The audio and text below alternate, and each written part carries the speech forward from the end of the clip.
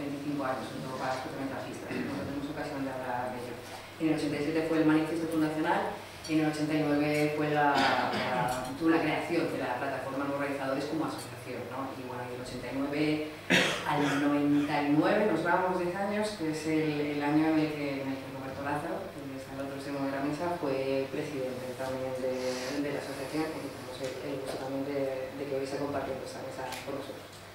Roberto, si nos quieres puedes compartir algo. Eh, hola, buenas tardes. Eh, bueno, primero quiero agradecer a, la organización, a, la plataforma, pues, haberse acordado también de, aquellos años tan, tan, pasados ya y invitarme, invitar a gente pues, que estuvimos en la plataforma en ese tiempo. Yo no llegué a conocer eh, el inicio, no estaba en la plataforma al inicio, pero como tengo muy buena amistad también con Juan Vicente y con otro de los que fue directores, de, perdón, presidentes de la plataforma, desde César Martínez, pues me recuerdo por muchas conversaciones, eh, aquellos gloriosos o maravillosos años del Café León, en los inicios, la sede en, en la Cuesta de San Vicente, no, en, en, no, en, en los cines de... No, hubo una sede también en, en durante un tiempo nos dejaban reunirnos en el Ateneo de Madrid. Reunimos, me parece que no es en el Ateneo. En, En el círculo también. en el círculo en también. la Cuesta de San, se Vicente, no sé, bueno. Se- Sedes tales parte de Bueno, ah, quizá me equivoqué hace ya tantos años. Bueno, yo entré en el año 90 y 91, 91 eh, como socio en la, en la plataforma y efectivamente creo que fue en el 97 cuando, cuando estuve en la presidencia en el 97 y 98, creo recordar. No he venido preparado porque no tengo, después de tantos años no tengo documentación. 99, fantástico, 92. Eh, aquellos años, igual que unos pocos antes, y me imagino que muchos después, eh, estaba todo pues, eh, un poco eh, en una situación de, de- de crisis permanente. En cuanto a medios de financiación, yo recuerdo era muy difícil mantener la, la plataforma con actividad por una razón quizás sencilla, porque mm, las producciones que se hacían eran 35 milímetros. Entonces, no había programación suficiente como para generar mm, eh, programación, digamos, no había producción como para hacer mucha programación, entonces eh, podíamos asistir con los trabajos a pocos sitios, los que se ponían ya no había, en fin, que no era fácil, ¿no? Eh, hacíamos proyecciones, teníamos un convenio, recordar, con la, con la Facultad de Ciencias de la Información, donde se, se hacían las clases, y, luego yo coincidí, ya había, hacía dos años que había desaparecido lamentablemente una, una publicación que se hacía desde la, la plataforma que era Plano Corto, la revista de la cual vosotros me imagino también que socios director de la revista y demás. En mi época tratamos de, y conseguimos, eh, bueno, hacer un pequeño boletín. Durante cada trimestral, hacemos un boletín con la imprenta del barrio, donde damos pues, información un poco de convocatorias, de ayudas, programaciones que tenían festivales, bueno, pues lo que podíamos, o sea, esto nos reuníamos, eh, creo que era una vez, una semana sí, otra no, la junta directiva, pues, eh, no, bueno, cada uno teníamos nuestras cosas y eran bueno, pues me imagino que como muchos otros años pretéritos o posteriores, eran años muy difíciles en cuanto a la, financiación. Lo que sí recuerdo que, que se hacía en esa época, que estaba muy bien, yo no sé si eso se mantiene, sí conseguimos ser mesa de negociación en el, en el. O sea, se nos convocaba para poner una persona en la, eh, en la convocatoria como, como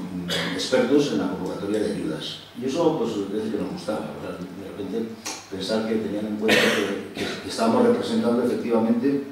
a cortometrajistas de, de la comunidad, aunque creo que era, bueno, trabajamos a, nivel nacional, nosotros teníamos socios que eran de otras provincias, abrió también, se hicieron, bueno, pues hermanamientos con, con festivales de cine que había en otros sitios, eh, había festivales donde se hacía una programación dedicada exclusiva a,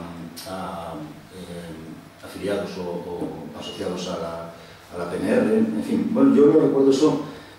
mis, a ver, mis amigos dedicados a la profesión los saqué de ahí, pues, mis relaciones, las relaciones humanas y personales y a nivel de conocimiento, de- igual que las tertulias que hacíais eh, previo a la, a la asociación, además yo, mis amigos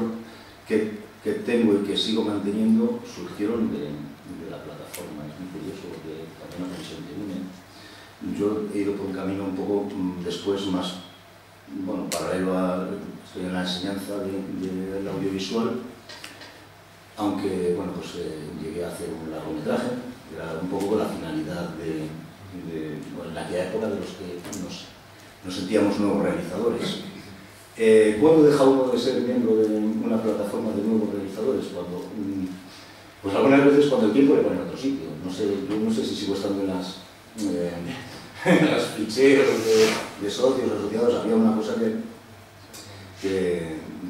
bueno, había unos, unos, términos en los que uno desaparecía, dejaba de ser socio, como en toda asociación cultural, cuando ocurre esta cosa o esta otra. Pero yo creo, y un poco siguiendo también, porque mi vida fue durante un tiempo para de Juan Vicente con la producción de cine, cuando de, repente tienes que pertenecer a otra institución, a otra entidad distinta, no voy a decir superior, pero distinta, que es la de productores. Nosotros hemos tenido que producir nuestros primeros largos, igual que producíamos los cortos, pues ya mm, pasas a otra, en mi caso era la Asociación de Nuevas Productoras, la, API, la Asociación de Productores Independientes, que luego fue ANP, Asociación de Nuevas Productoras, que pertenecíamos ya a FAPAE, que en fin, bueno, llega un momento donde dejas de ser realizador y te conviertes en productor, digo, lamentablemente, en casos, yo por ejemplo, y, bueno, entonces te desligas, al menos eh, en, en, la dedicación temporal, a la plataforma, a la PNR y bueno, tratar de buscarte también en ese, en sitio, eso es un poco, estuve también en mi, el último año que estuve presidente se dio una circunstancia eh, un poco especial también. Eh, nosotros aceptamos la propuesta de una asociación cultural que se llamaba Matiz Imagen para facilitar, mediante el, el background, el know-how que tenía la plataforma, facilitar la posibilidad de hacer ellos un festival. Y a cambio, eh, un festival que, lleva bueno, no sé, años que lleva la imagen, a cambio poder eh, financiarnos en parte los pagos del local, de la sede, las deudas que tenemos con enfrente, alguna deuda que quedó de la revista y otras cosas, financiarlas a cambio de poder, digamos, hermanarnos durante un año para eso. Eso, recuerdo esos años que fue, hubo como una especie de cisma en, la plataforma, hizo que hubiera unos, yo ahora lo veo con, con, más lógica que entonces, que era un poco, bueno, yo me posicioné a, favor de la posibilidad de, juntarnos ese año con, con una institución que traía, que traía anunciantes y dinero y tal, para hacer unas... Pero claro, eso también recuerdo que el planteamiento era que peligraba, por otra parte, la idiosincrasia y la personalidad de la propia plataforma. Entonces, eh, recuerdo que ahí hubo pues, una serie de elecciones después anticipadas. O sea,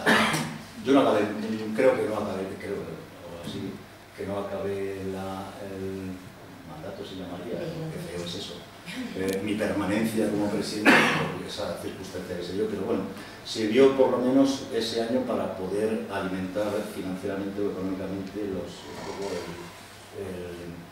el, déficit que tenía la asociación heredada y, bueno, no sé si esto me estos. ¿Recordáis que me hablaba antes de la producción y eso me ha llevado a esto? Disculpadme, este era un poco, este es un poco mi recuerdo, claro, es el 97, han pasado muchos años y hablo quizá también un poco desde, desde mi recuerdo no documentado.